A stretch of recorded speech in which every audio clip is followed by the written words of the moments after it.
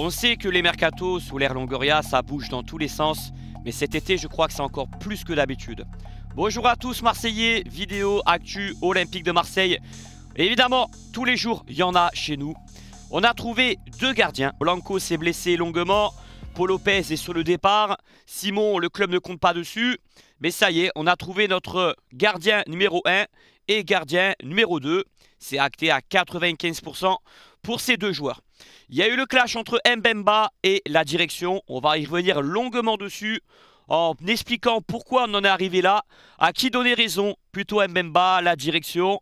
Et on va parler bien sûr des autres rumeurs mercato, et non des moindres. La piste de l'avant-centre, Wai, Moukoko, Nketiah, Sanchez, où ça en est tous ces dossiers on va en parler. Allez, le petit pouce en bas de la vidéo pour ceux qui veulent me soutenir. C'est très sympa de votre part. Je vais commencer par euh, l'affaire Mbemba qui est très délicat, très sensible, qui me fait mal au cœur parce que j'adore ce joueur, j'adore ce mec humainement. Il a fait deux saisons chez nous de grande qualité, surtout la première, mais également la deuxième, parce qu'on va rappeler un petit peu le contexte. Sachez que l'été dernier, Mbemba devait être vendu par l'Olympique de Marseille. Ça n'a pas fait grand bruit à l'époque, mais il y avait une offre de 20 millions d'euros venant d'un club saoudien, la Provence en parle d'ailleurs ce matin, que l'OM a accepté. Et d'ailleurs, Marseilleno ne le mettait pas titulaire lors des matchs de préparation, rappelez-vous. On avait Balerdier aux côtés de Gigot. Mbemba a refusé catégoriquement cette proposition et il a dit « je reste au club coûte que coûte ».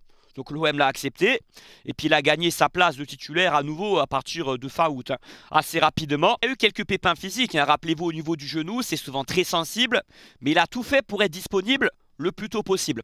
Notamment contre l'Atalanta au match aller au Vélodrome où il est buteur ce jour-là.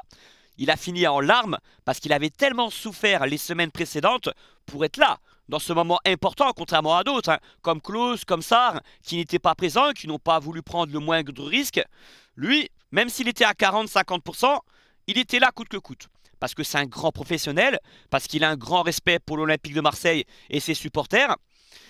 Et puis, il y a la fin de saison, et on sait qu'il est en fin de contrat dans un an. Sauf que, il y a la rumeur persistante de Sao qui a même des grandes chances de devenir l'entraîneur de l'Olympique de Marseille à ce moment-là, au mois de juin 2024. Et d'après les bruits qui circulent, hein, la Provence en parle encore ce matin, le coach portugais voulait en faire un des hommes forts de l'OM. Et là, ça ne dérangeait pas la direction. Mbemba devait honorer sa dernière année de contrat, et en gros, on se sépare bons amis. Il est arrivé libre, il repart libre. Sportivement, ça a été une énorme plus-value pour l'OM, parce que ça a été un défenseur très impactant, très très très performant, comme rarement on a eu depuis une vingtaine d'années. Et puis parce que Sao aurait voulu s'appuyer dessus. Mais sauf que ça se fait pas, et c'est deux Zerbi qui arrivent. Et on apprend que le coach de Zerbi n'était pas un grand fan de Chancel Mbemba, notamment parce qu'il cherche des défenseurs centraux capables d'être très propres dans la relance, et selon lui, il y a mieux à faire que Mbemba dans ce secteur de jeu. L'arrivée de Brassier, on a Balerdi au club, un défenseur qui aime se porter vers l'avant. Dans le camp adverse, balle au pied, il marque beaucoup sur coup de pied arrêté. Mais c'est vrai que dans les relances, ce n'est pas vraiment son point fort. Après, quand tu juges un joueur à ce secteur de jeu, c'est un tout. Il faut être capable de bien défendre, de bien relancer, d'être bon sur les coups de pied arrêtés défensifs, offensifs. Il y a plusieurs aspects. Mais pour deux Zerbi, c'est très important la relance parce que vu notre façon de jouer, on en reparlera plus tard, c'est vrai que c'est primordial. Après, hein, je ne qualifierai pas non plus Mbemba comme un joueur qui est maladroit, non plus balle au pied, dans les passes courtes, dans les relances longues, loin de là. Hein. C'est la vie apparemment de deux Zerbi. Et puis, ça dérangeait pas la direction plus que ça, parce que Longoria a en tête de mettre tous les joueurs qui sont en fin de contrat dans un an dans un loft pour les pousser à partir absolument pour ne plus reproduire Bouba Kamara, Pegay, etc. Ce genre de cas où malheureusement l'OM ne récupère pas d'argent. Mais comme je l'ai expliqué précédemment, il y a des exceptions à tout dans la vie. Mbemba, il est plutôt jeune. Sa valeur marchande et économique, elle a baissé de 60%, vu son âge. Et encore plus si tu le mets dans le loft. Parce que tu fais comprendre aux potentiels clubs intéressés qu'on compte pas sur lui. Et encore plus s'il est mis à pied comme ce qui vient d'arriver hein, depuis hier. Malheureusement, il y a eu un clash avec un proche de Mehdi Benassia, Ali euh, Zarak, qui était aux côtés de Jean-Pierre Papin hein, lors des séances d'entraînement de l'équipe réserve. Et puis ça s'est fini en doigt d'honneur de Mbemba parce qu'il était convoqué pour jouer un match euh, en équipe réserve à, Villefranche là dans une semaine. Il a dit non non c'est mon anniversaire, euh, ton match tu te le fous là où je pense. il a vrillé, certainement impacté d'être dans le loft et à l'écart du groupe professionnel à 90% du temps depuis euh, trois semaines. Et cette situation doit être très lourde à supporter pour n'importe quel joueur. Surtout pour quelqu'un qui n'a jamais triché, qui était un joueur important de l'OM. Et lui le sait très bien. Il aurait les performances euh, d'un, je sais pas moi, euh, d'un Ronald Zubar. Il n'aurait pas bronché Mbemba. Mais au vu de tout ce qu'il a apporté à l'OM, il estime que c'est une injustice. Et il estime qu'il est dans son droit d'aller jusqu'à la fin de son contrat. Parce que Mbemba ne voulait pas prolonger. Hein. Il voulait partir libre, comme il a fait à Porto, coûte que coûte. Sauf que l'OM a en tête de faire respecter l'institution et que désormais, on est en droit. Si un joueur ne veut pas prolonger, de le vendre à tout prix à ce moment-là. Et c'est vrai, vu comme ça, on a la, la, possibilité de vouloir faire partir un joueur ou le garder. Mais après les méthodes employées, de les forcer à, de les mettre dans un loft, de les faire craquer, c'est ce qui est arrivé avec Mbemba. Hein. Il a craqué, c'est vrai. C'est un caractère aussi très fort, Mbemba, faut le savoir. C'était euh, un homme de vestiaire. Mais il a aussi euh, un certain ego et un caractère très imposant. Faut pas croire que c'est quelqu'un de très calme au quotidien, euh, qui dit jamais un mot plus haut que l'autre. Il a un gros caractère, c'est pas forcément une critique hein, ou un défaut, mais c'est pas étonnant que ce genre de situation, ça passe pas avec lui. Ça ne passe pas. C'est Chancel Mbemba. Voilà. Et lui, il a un certain ego. Donc au final, cette affaire, c'est un vrai cocktail explosif et l'OM est assez perdant. Parce que là, Mbemba ne va plus s'entraîner, il va plus jouer avec l'OM. Et si un club va s'intéresser à lui, sa valeur économique, qui était déjà assez moindre, à un an de la fin de son contrat, elle va encore diminuer, elle va encore baisser. Donc qu'est-ce qui va se passer dans les prochains jours? Résiliation, pas résiliation? Écoutez, on verra bien. En tout cas, ça va mal se finir. C'est moche, c'est dommage, c'est triste. Le foot est parfois dégueulasse. Je comprends la position de Mbemba. Je comprends un petit peu l'OM de vouloir le vendre s'il est en fin de contrat dans un an. Même si moi, avec le temps, je l'aurais gardé parce qu'on aurait été gagnant sportivement de le garder sur la saison entière. Je ne sais pas si Brassier va être un défenseur hyper solide, s'il va répondre aux attentes, s'il sera à la hauteur, tout comme Cornelius, tout comme Maïté. Balerdi se connectait très bien avec Mbemba. Il s'entendait parfaitement sur le terrain. Et surtout parce qu'on allait vendre Mbemba à un prix de moins de 10 millions d'euros largement. Mais c'est la nouvelle politique du club. On a souvent répété que l'OM devait se faire respecter que l'institution passait avant tout. Ça fait partie de l'institution d'un club de faire comprendre aux joueurs qui ne partiront pas libres. Ça, Marseillais, on ne peut pas reprocher ça au club. Sinon, vous n'êtes pas cohérent. Vous êtes les premiers, certains, à dire Ouais, mais on se fait marcher dessus par les joueurs, c'est pas normal, ils font ce qu'ils veulent chez nous, ils partent libres quand ils veulent, l'OM se fait pas respecter. Mais là, on les force à partir coûte que coûte. Sauf que là, c'est peut-être un peu trop fort. C'est trop appuyé, notamment pour un mec comme Mbemba. Et ce n'est pas le management adéquat, ce n'est pas la bonne gestion avec lui à avoir. Peut-être que les deux sont perdants, hein, Mbemba et l'OM. Mais pour l'instant, c'est surtout l'OM qui va être perdant. Mbemba, tout dépend. On verra bien. Parce que oui, ça peut se terminer euh, très très loin cette histoire, ça peut aller en justice et on verra hein, s'il va être sanctionné euh, pour faute grave ou quoi, c'est ce que l'OM peut-être chercher à faire. Qu'il soit poussé à la faute et là c'est vrai que si c'est vrai, je pense que c'est réel hein, ce qui s'est passé avec Alizara qui est membre de la direction sportive en charge de l'équipe réserve et très proche de Benassia qu'il a fait ses doigts d'honneur, qui lui a mal parlé aussi, hein, en lui disant euh, Non, non, cousin, je viendrai pas à ton match. Euh, bref, je suis pas là pour incriminer Mbemba, l'erreur est humaine c'est humain qu'il puisse craquer. Après, qu'il ait un salaire astronomique, qu'il ait un statut privilégié, ça, on le sait tous. On ne peut pas plaindre des millionnaires. Mais, sauf que ces gens-là, ils s'habituent à la gloire, etc. Le niveau de Mbemba, évidemment, qui est dans l'équipe réserve de l'OM, il ne peut pas espérer pire pour sa carrière. Donc voilà pourquoi, à sa place, on aurait aussi bien craqué comme lui. La plupart, hein, je dis bien. Même si on toucherait le salaire qu'il a, même si on aurait la vie qu'il a depuis des années, c'est humain que Mbemba craque. Quoi qu'il arrive, moi je respecterai toujours ce joueur, ce mec. Je le remercierai pour ce qu'il a apporté à l'OM. Est-ce que la direction a bien géré son dossier, son cas? Pas du tout. Même s'il est en fin de contrat dans un an et que je comprends le fait qu'on veuille le faire partir, mais la façon dont ça a été géré, je l'admets pas. Et voilà, la preuve, c'est que on va être perdant dans cette affaire.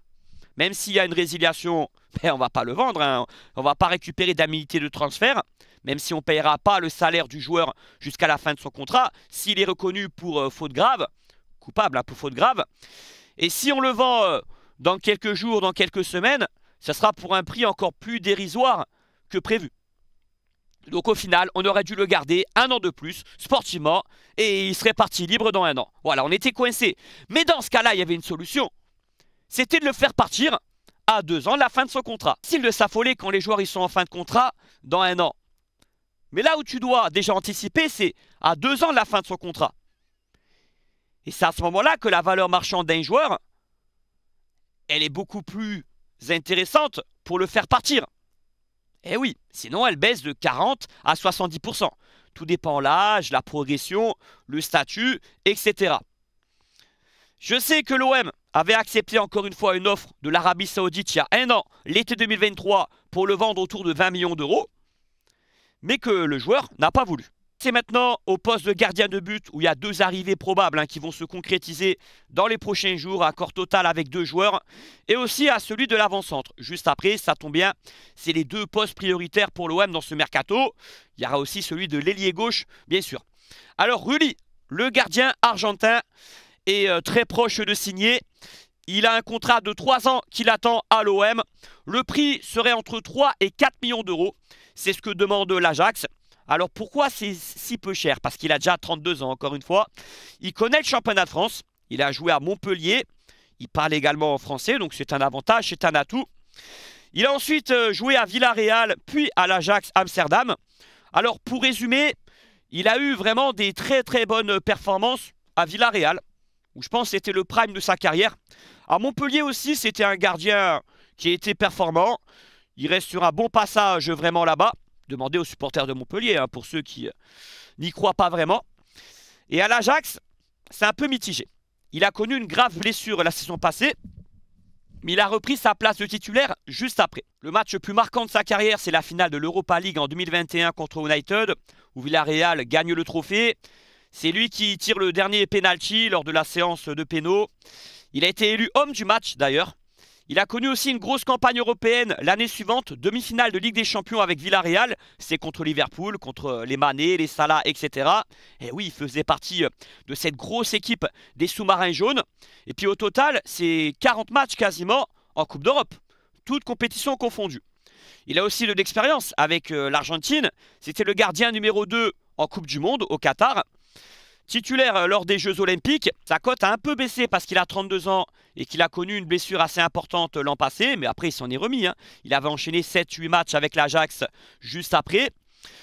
Villarreal a été le chercher pour ses performances à Montpellier. L'Ajax a été le chercher pareil parce qu'avec Villarreal, il avait vraiment passé un cap sportivement. Mais avant tout, ce qui ressort chez lui, au-delà de ses performances globales, c'est un bon gardien, même s'il n'a jamais été parmi les meilleurs du monde. C'est aussi sa qualité de relance jeu au pied. Et pour des clubs comme l'Ajax, c'est quelque chose de primordial. Même Villarreal, hein. les équipes espagnoles en général, elles aiment le jeu de possession, encore plus le sous-marin jaune. Et là, c'est pareil, un coach comme De Zerbi va s'attarder sur son gardien. Est-ce qu'il est capable de bien relancer proprement, que ce soit dans le jeu long, dans le jeu court, pour bien faire ressortir le ballon? Et c'est vraiment le cas de Rulli. Balle au pied, en tout cas, ça fait partie de ses qualités principales. Alors je pense que c'est un plan B voire C pour l'OM parce qu'à la base on n'était pas sur lui. On avait en tête des gardiens avec un statut euh, ou une marge de progression plus importante. Hein. Jorgensen, Valès, euh, voire Brice Samba. Mais sauf que ces pistes ne sont pas conclues. C'est un peu cher pour l'OM. Et qu'on s'est dit, on va garder l'argent de ce mercato pour d'autres postes sur le terrain, dans le champ du moins, l'avant-centre, l'ailier gauche, latéral droit, le milieu de terrain, etc. Et qu'on va prendre le moins de risques possible sur le gardien de but. Pourquoi? Parce que lui, il va arriver autour de 3-4 millions d'euros. Donc si il ne fait pas une grande saison, ça ne sera pas une catastrophe industrielle.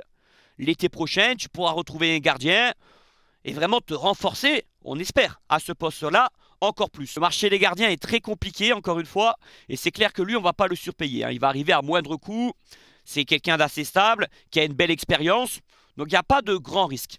Après, je sais très bien, moi aussi, j'étais pas trop hypé au départ. Je me disais, est-ce que c'est une plus-value sportive par rapport à Paul Lopez? Je pense que ça l'était, au départ des rumeurs, et puis en me renseignant davantage, j'en suis quasiment persuadé. Après, la vérité, ça sera sur le terrain. Est-ce qu'il fera une bonne saison? Je n'en sais rien, je ne peux pas le garantir. Mais il a quand même certaines garanties, certaines certitudes, surtout du côté de Montpellier et encore plus à Villarreal.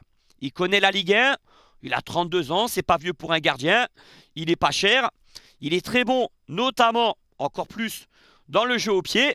Après, il n'y a pas que ça pour un gardien. Hein. Je sais que le foot moderne comme le disait Spinozzi il n'y a pas longtemps, l'ancien entraîneur des gardiens de l'OM de longue date, c'est primordial. Mais ce qu'on va lui demander, c'est d'arrêter des buts, d'être performant sur sa ligne, sur les sorties aériennes, d'avoir un leadership, euh, un certain charisme dans sa surface, et sur les coups de pied arrêtés adverses, etc. Il est capable aussi de jouer très très haut, quasiment comme un libéraux, ça lui fait pas peur. Et on dit de lui que c'est un gardien fiable, dans le sens où il fait très très peu de grosses erreurs, de boulettes, de cagades.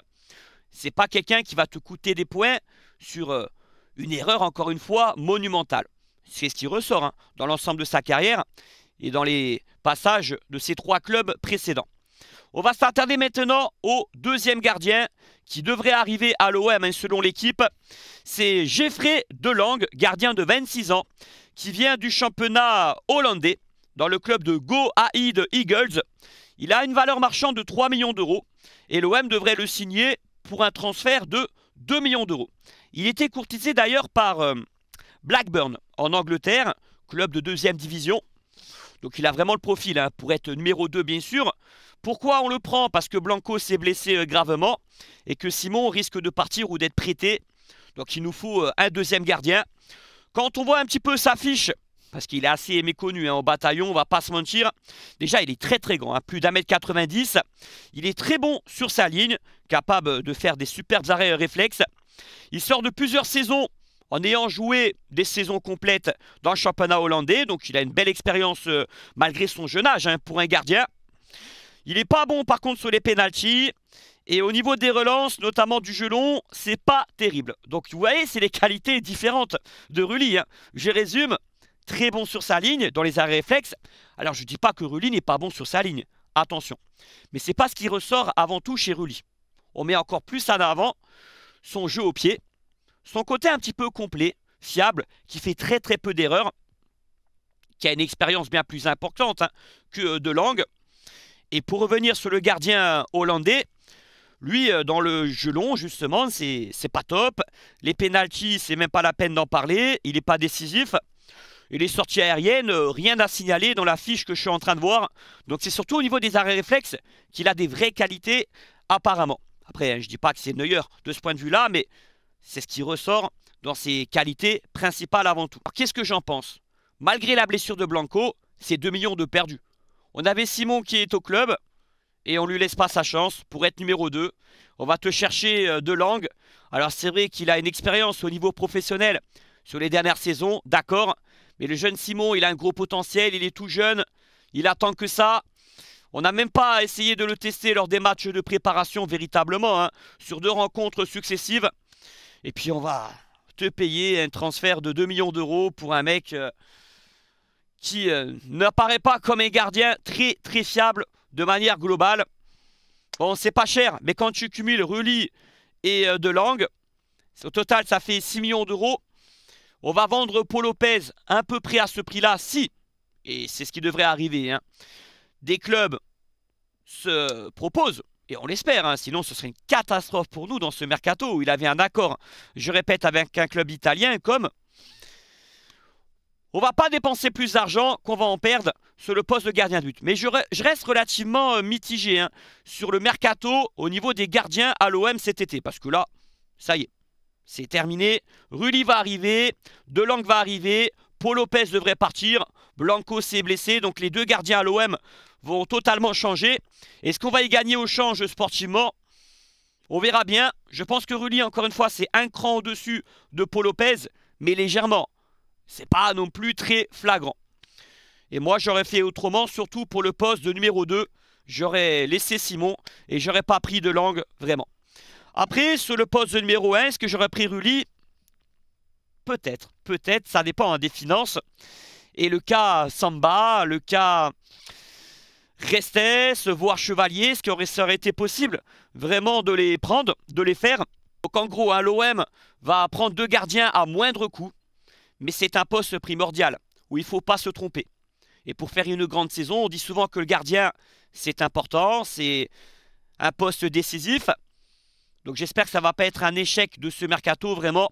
Et tout dépend de Reli principalement. Alors ok, il n'est pas cher, mais sportivement, on a besoin de lui qui soit à la hauteur. On va le juger au cours de la saison. Ensuite, au niveau de l'avancante, vous avez vu, hein, la grande nouvelle qui est arrivée hier. Je ne dis pas que c'est positif, hein, mais l'OM fonce sur Wai, l'avant-centre de Lens, qui avait fait une grande saison à Montpellier euh, la saison 2022-2023. Ça me rappelle un peu la saison de Balogun à Reims. Et puis ces deux joueurs, ils ont signé à Lens et l'autre à Monaco. Et les deux, ils ont floppé. Dans l'ensemble, même si Wai, on parle d'un mec qui a marqué 12 buts la saison dernière. C'est pas rien non plus. Et je dirais même que c'est pas mal pour une saison ratée. D'après l'équipe, l'OM a fait une offre de 20 millions d'euros pour faire craquer Lens et le joueur veut nous rejoindre. Pour deux raisons, parce que Lens euh, a besoin de vendre, qu'ils ont été déçus de son passage chez eux, qu'il y a quelques petits problèmes, je crois, en interne avec lui au niveau de sa nonchalance, etc. C'est un joueur qui est très jeune, hein. il a seulement 22 ans. Ça me rappelle un peu le cas Bamogo qui avait fait une super saison à Montpellier. Ensuite, l'OM l'achète pour remplacer Drogba. Et chez nous, il avait marqué 6-7 buts dans la saison. Dans l'ensemble, ça avait été un flop et une vraie déception. Il n'avait pas les épaules pour être titulaire à l'OM. Alors, en ce qui concerne Hawaii, est-ce que 20 millions d'euros, c'est le juste prix? J'espère qu'on va un petit peu baisser le montant. Autour de 15, ça me paraîtrait plus raisonnable. Lance réclame plus. Je préfère qu'on se penche sur Jonathan David que Lille doit vendre hein, parce qu'il est à un an de la fin de son contrat. S'il réclame entre 25 et 20 millions d'euros, autant aller sur Jonathan David. Je le préfère à Hawaii. Après, il a aussi les qualités évidentes, ce joueur. Vraiment, avec Montpellier, il était au-dessus du championnat de France. Hein. Il avait fait une saison euh, extraordinaire. L'an passé, je l'ai observé dans beaucoup de gros matchs avec euh, Lens, à part un match de Ligue des Champions, il avait été excellent. Et quelques buts par-ci par-là. Dans l'ensemble, ça a été décevant. Parce que aussi, les attentes étaient très très hautes à son sujet. Bon, s'il signe à l'OM, c'est pareil, hein, les attentes seront très importantes, notamment pour le poste de numéro 9. Il connaît la Ligue, le championnat de France, contrairement à Moukoko, qui peut arriver, hein, vous le savez, voire euh, de Nketia. Il y aura deux Zerbi qui va le coacher. Et si notre entraîneur le met, le remet en selle et à son prime, ça peut faire quelques étincelles. Parce qu'il y a du talent, il y a un vrai potentiel, il y a des vraies qualités de finisseur, de numéro 9 de percussion hein, chez ce Wai. C'est au-dessus de Vitinha, de certains flops hein, qu'on a recrutés précédemment, mais attention, faut pas se tromper. Ça peut être aussi un jeune joueur qui floppe également chez nous, hein. il n'y a pas de raison. Il a floppé un petit peu à Lens, donc il peut flopper à l'Olympique de Marseille. C'est encore plus dur en principe chez nous de s'imposer. Mais chaque histoire a ses vérités. Alors je sais très bien qu'il a déclaré ne jamais vouloir venir à l'Olympique de Marseille. C'est un anti-OM de base. Hein. Dans son enfance, dans son adolescence, ça se voit, ça se ressent dans son regard quand il a parlé. Après, les joueurs professionnels deviennent des carriéristes, entre guillemets. On va pas le comparer à Lorixana, à DU, à Mbami, les Parisiens qui ont, signé à l'OM après, parce que eux n'étaient pas anti-OM à la base. Les DU, Sana, Heinze, ils n'étaient pas anti-marseillais, voire supporters du PSG dans leur enfance. Et lui, c'est vraiment le cas. Ça peut faire penser à Gendouzi, qui était supporter du PSG étant ado. Mais est-ce que Gendouzi détestait l'OM J'en suis pas sûr. Apparemment si. Si on écoute certains Parisiens qui l'ont côtoyé au centre de formation, l'OM a cet avantage, cet atout, ce côté à part de donner des coups de cœur à n'importe qui. Que ce soit des joueurs professionnels, des gens de passage au stade Vélodrome. C'est un club magique. Donc ce ne serait pas le dernier Wai. Hein. S'il marque son premier but au Vélodrome devant 65 000 personnes, ça va exploser, ça va péter de tous les côtés. Et je vous garantis, tout supporter du PSG qu'il a été, que son cerveau il va se retourner, se renverser. Après, j'avoue que cette déclaration me fait quelque chose quand même. Je dis pas que c'est rien. Il va falloir qu'en conférence de presse, il soit clair s'il arrive chez nous. D'accord? C'est comme les Parisiens avec euh, Lucas Hernandez là, qui attendaient des réponses. On doit pas dire non, on s'en fout, c'est pas grave. Mais je pense qu'on doit pas dire non plus, faut le boycotter, etc. Il nous a craché dessus. C'est pas comme Gamero par exemple. Vous vous souvenez, euh, il y a deux ans, qui aurait pu signer. Lui, il a été plus loin envers l'OM. Bon, en plus, il n'a pas signé au PSG. Hein. il n'a pas joué là-bas. Je crois pas qu'il a été formé à Paris, hein, si je ne m'abuse. Après, les craintes que j'ai, hein, c'est qu'il a été un peu sur la pente descendante avec Lens. Ça a été un échec. Bon, après, il reste très jeune. Hein. il a 22 ans, mais mentalement, ça peut faire cogiter un jeune joueur. Tout dépend. Est-ce qu'il peut rebondir? Est-ce qu'il va, au contraire, euh, dans sa prochaine expérience, encore décevoir? Ça va être déterminant. Le prochain club pour lui, pour sa carrière, c'est soit il décolle, ou soit clairement il retombe dans l'anonymat. Ouai. Sinon, il a une certaine nonchalance sur le terrain. C'est ce qui ressort chez les supporters lensois. Il fait pas beaucoup d'efforts. Euh, il traîne un peu la patte, hein, comme on dit parfois. Il s'économise un petit peu. Bon, après, pour un avançante, hein, ça peut être aussi un atout parce que tu as les jambes nécessaires dans les 20 derniers mètres parfois pour faire la différence. Mais des fois, ça peut être aussi agaçant. Et au niveau du comportement, je ne parle pas des affaires hein, dont on parlait à son adolescence, mais il n'est pas exempt de tout reproche. Notamment, même à Montpellier, à Lens, euh, au centre de formation, c'est un mec qui a toujours été réputé pour euh, être un petit peu euh, nonchalant, avoir un caractère un peu spécial. Il a du mal à se mettre au travail à 300% au quotidien. S'il vient dans un projet comme De Zerbi, à l'Olympique de Marseille, avec une telle passion, une grande motivation de se relancer. Après, ça peut être un autre personnage. Et on peut imaginer qu'il sera doublement performant si dans sa tête, il a deux fois plus envie que d'habitude. Parce que déjà qu'à Montpellier, c'était un très bon joueur, un des meilleurs avançants de Ligue 1. Je le compare un peu avec Balogun. Mais s'ils ont certaines qualités différentes, mais par rapport à la trajectoire de leur carrière, excellent en 2022-2023 avec Montpellier et Reims. Et l'an passé avec Lens et Monaco, ils ont floppé tous les deux. Ils ont à peu près la même valeur marchande et presque le même âge. Dites-moi en commentaire, Marseillais, si vous préférez Wai ou Balogun. Parce que c'est pareil la piste de Balogun. Qui sait, dans une semaine, l'OM se penche pas dessus. Et qu'on on propose 15-20 millions d'euros à Monaco. Croyez-moi, hein, dans leur tête, à la SM, ils vont réfléchir, ils vont cogiter. Wai ou Balogun? J'avoue qu'entre les deux, c'est du kiff-kiff hein, pour moi. Donc, est-ce que je suis pour l'arrivée de ce joueur? Entre 15 et 20 millions d'euros, pourquoi pas? Pourquoi pas, les amis? Pas la certitude qu'il va performer, mais il est pétri de qualité et il a beaucoup d'avenir. S'il se remet au travail, si De Zerbi arrive à faire exploiter tout son potentiel, ça peut être un avançant qui va te claquer 15-20 euh, buts. Il connaît la Ligue 1. Pourquoi pas Encore une fois. D'ailleurs, ce dossier-là n'a pas de lien avec celui de Moukoko. Parce qu'on estime que l'un des deux pourrait jouer comme ailier gauche, les amis. Et là encore, je vous pose la question. J'ai beaucoup réfléchi là-dessus. Ça devrait être qui à votre avis? Si on signe Moukoko et Wai. Il y aura Greenwood à droite, mais qui va jouer ailier gauche? Wai ou Moukoko Difficile d'y répondre, parce que leurs deux positions préférentielles à ces deux joueurs, c'est l'axe. C'est numéro 9 pour moi. Donc ces deux cas totalement indépendants. D'après un seul média, on dit que l'intention du club, c'est de les réunir en attaque, à confirmer bien sûr, mais ça peut être le cas, hein, vraiment. On est optimiste sur ces deux dossiers. Wai veut venir, Moukoko c'est pareil. On doit se mettre d'accord avec Lens et Dortmund. Peut-être qu'avec Lens ça va être un peu plus compliqué, mais l'OM avait prévu d'investir de manière assez importante sur un avant-centre. Nketiah, c'est en stand-by, voire c'est mal barré. On a récupéré de l'argent avec le départ d'Obameyang. On a économisé son salaire important. Et on sait qu'on doit se renforcer absolument à cette position. Donc offrir 15 millions d'euros entre nous, en chuchotant, à Lens, ou voire 20 millions d'euros, c'est pas ça qui va nous mettre dans la mouise. Sauf qu'il faut pas le dire. Sinon Lens va en profiter. Pour grignoter, grignoter. Et je répète, hein, eux ont besoin de vendre. C'est pour ça que je suis optimiste. C'est pas comme un club de première ligue. On le voit avec Arsenal. Si eux, 20 millions d'euros, c'est pas grand chose hein, pour eux. Nketiah d'ailleurs, bon, il y a Foot Mercato qui annonce aujourd'hui que Arsenal semblerait plus raisonnable sur son cas-là parce qu'ils ont dû voir que l'OM se penchait sur d'autres avant-centres. Donc ils prennent peur, ils se disent ah bah tiens, c'était pas si mal la proposition de l'OM là, autour de 20 millions d'euros pour lui. Donc la piste peut se relancer. C'est en stand-by pour moi. C'est en stand-by et c'est un jeu de poker menteur. Ça, je vous avais prévenu il y a 2-3 jours hein, que c'était loin d'être fini. Par contre, Sanchez, c'est fini.